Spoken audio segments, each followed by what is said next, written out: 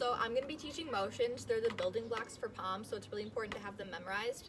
Um, just so you know what I'm referencing, the big cinnamon roll is the side of your fist with the thumb, and then your little cinnamon roll is the side of your fist with the pinky. So the first one's going to be the high V. So you're going to have your fists up in the air with your big cinnamon rolls out, and you're going to want to just be able to see them out of the corners of your eye. Just flipping this low, it's called the low V, and your big cinnamon rolls are out again, and you should just be able to see them.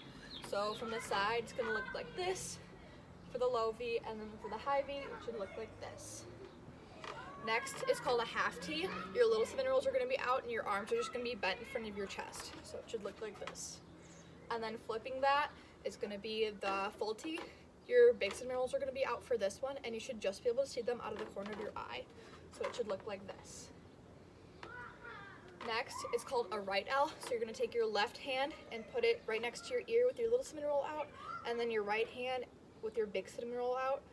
Flipping this is called a left L. Your right hand should now have the left or the little cinnamon roll out, and your left hand should have the big cinnamon roll out putting this together is called a touchdown. You should be squeezing your ears with this, having your little cinnamon rolls out, and ending it with a clasp. So all together, that looks like V, low V, half T, full T, right L, left L, touchdown, clasp. From the side, high V, low V, half T, full T, right L, left L, touchdown,